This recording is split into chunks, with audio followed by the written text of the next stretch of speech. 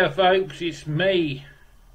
Um, sorry if I sound not not so good. I had a massive asthma episode last Tuesday. Uh, a bit scary because I woke up and I thought I had the COVID. Uh, coughing like a trooper for about two and a half hours. And uh, I thought, oh my god, here we go. And uh, it was a bad one. Then I sort of took a gamble and I thought, nah, this is asthma. So I've been on the inhaler ever since and uh, I think I just got a bad cold, um, and it sort of triggered a small attack. But uh, uh, in England at the moment, I don't know if you're aware, we've been on lockdown for the last four weeks. All the pubs are shut, the shops are shut, everything's shut basically. Um, you can go to a chemist, you can go to a um, supermarket, but you can't do much else. Uh, we come out of lockdown next week on the 2nd, I think it is, or 3rd of December the trouble is they've given us all tiers, so the shop's open, but you can't go to the pub.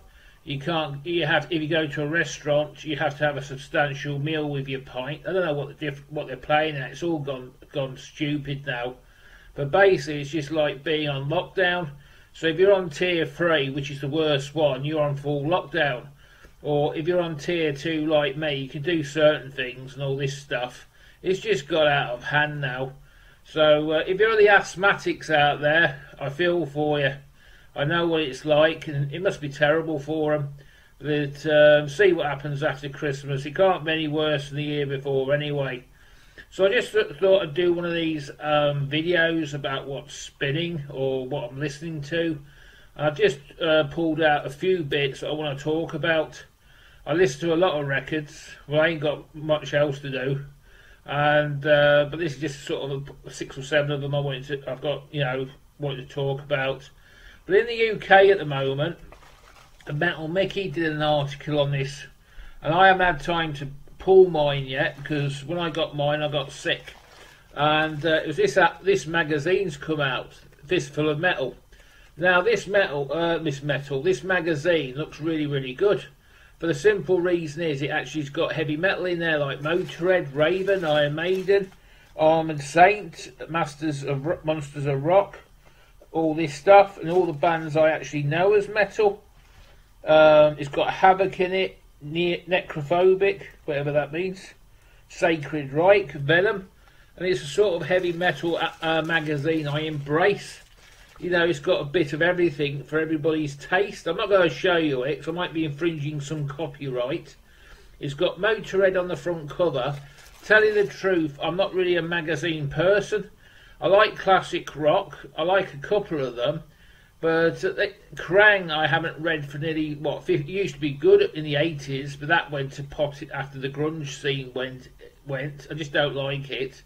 Uh, I just, I can't associate with them because half the bands I don't sort of I think this is new metal, and I know some people love it, but it's just not my being an old metal head, old school metal head. I just can't associate with it. You know what I mean? It's just totally weird. But yeah, I think this magazine will tick all the boxes. Uh, it's a quarterly one as well. I think you get four a year. Um, but uh, it looks a great read. I can't wait to read mine and uh, I will read it probably today. I'll have a look through it, and uh, yeah, it just looks great. If you're into sort of the Iron Maiden, the Ravens, you get a bit of everything, sort of 70s, 80s, 90s, instead of everything, all the magazine being on one subject. Uh, there's a great record collecting mag. Uh, I, I, won't call it great. I, I don't read that.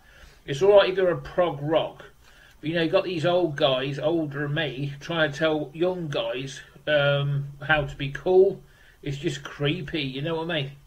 But uh, yeah, I think I'm going to like that magazine.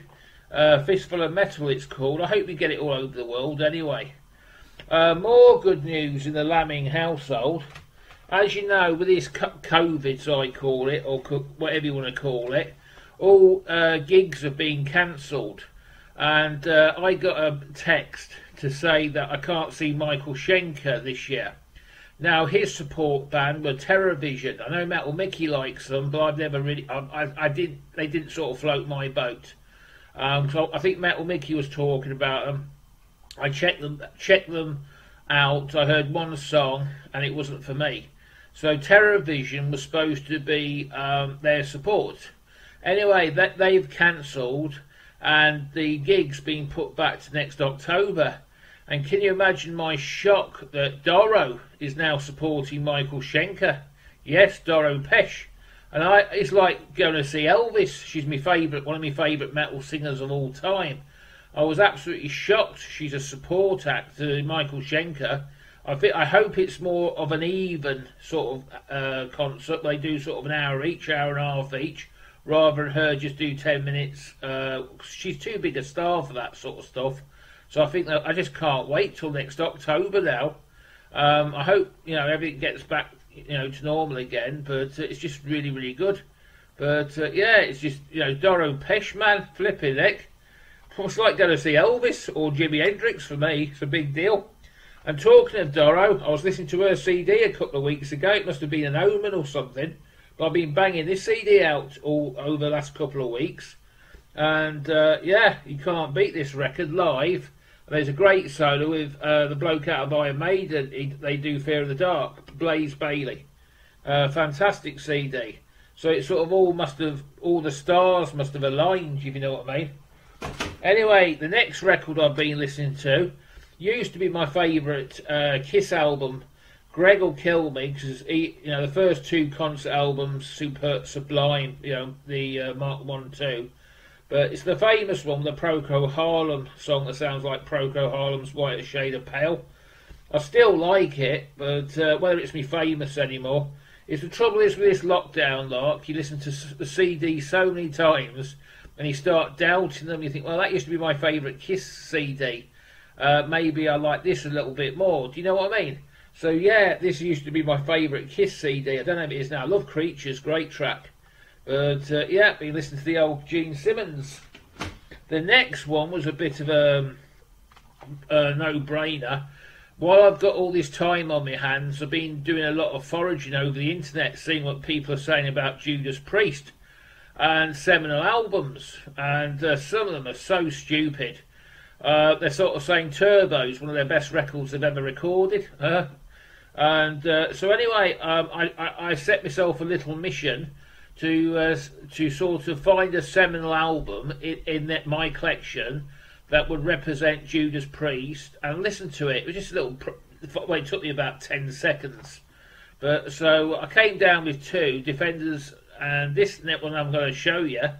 And uh, Defenders is my favourite album, but it's got a couple of what I call loose tracks, and you think well, maybe that shouldn't have really gone on that record.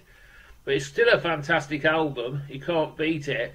But if anybody asks me now what the best Judas Priest album is, I'd have to go with this one, Stained Class.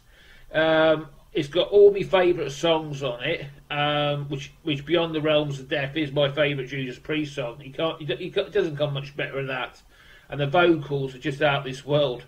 And uh, you've got Better by You Better Than Me. I know that's a cover, but I forgot who's done it. That got me into a bit of trouble, but it's got some cracking stuff on here. Uh, Stained Class is good as well. It's I'm just having a look at Rob Halford actually, because I came across, you know, he did. Um, this is the live, uh, not live, the first one he did. Uh, Silent Screams, and uh, I wonder if the silent screams off this record, the live version, was a tribute to Beyond the Realms of Death. I was thinking about that as well. You see, when us metalheads start going a bit delirious, we start asking all these questions in our head. And I think that Beyond the Realms of Death off this album um, influenced Silent Screams off this album. You know, because it's sort of basic, it doesn't sound the same, but he's got the sort of the kind person, the angry person. You know what I mean? Uh, thoughts down the comments. What you think? Um, do you agree or disagree? I'd love to hear your your views. But anyway, to me, this would be a seminal album of Judas Priest all day long. Um, also, for the, you could, you know, Defenders of the Faith and Screaming for Vengeance. The, they're to me the best anyway. But I love this record. Been listening to it a lot. Now, I thought what I'd do is as well is I like this record, uh, which is the first Fight album. This is phenomenal. It, it, the intro on this is Into the Pit and Nailed to the Gun and Life in Black.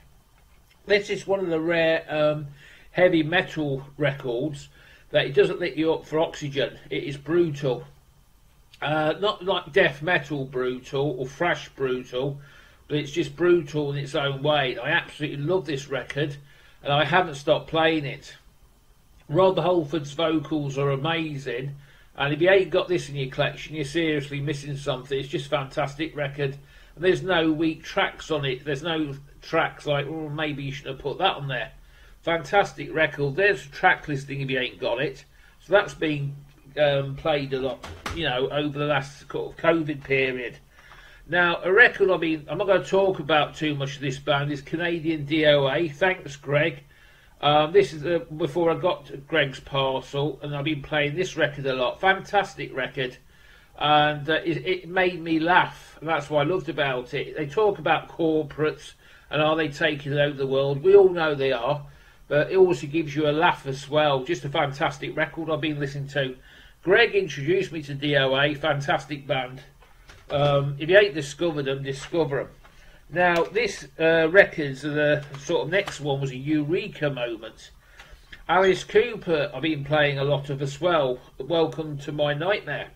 This, as a best B side ever, is phenomenal, and I finally got it the other week.